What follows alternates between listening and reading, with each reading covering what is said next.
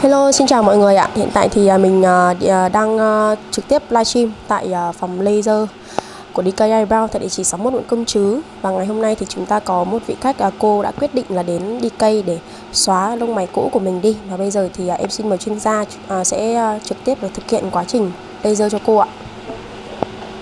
Dạ vâng cô, lông mày này mình làm được bao nhiêu lâu rồi ạ? Cũng làm được một năm rồi sao ạ? À, cô làm được một năm ạ, một năm ạ. Vâng và em xin ờ, mời ống kính quay sát hơn một chút nữa nhé để ờ, có thể ờ, quan sát được cái quá trình. À, tia laser, sung laser đi đến đâu này? Thì mực mờ đi đến đó cũng khoảng được khoảng tầm 80% rồi. Đó và trong cái quá trình thì màu mực sẽ đẩy dần lên. Và so với những công nghệ cũ ấy thì sẽ phải mất 30 đến 45 ngày để chúng ta có thể hồi phục lại cái da thì sau đó mới thực hiện được liệu trình mới. Tuy nhiên thì tại DK thì vì là cái mức độ an toàn rất là cao an toàn 100% không hề à, như mọi người quan sát ấy, thì mọi người thấy là có thể là cái vùng lông mày của cô là không hề bị bong chóc này cũng không hề bị chảy máu và đặc biệt là lông mày vẫn còn giữ nguyên và không bị rụng. Đó. Vâng và em xin mời à, chị Giang có thể đi à, nốt phần còn lại. Chúng ta có thể quan sát được hai bên khác nhau rất là nhiều rồi ạ. Đó.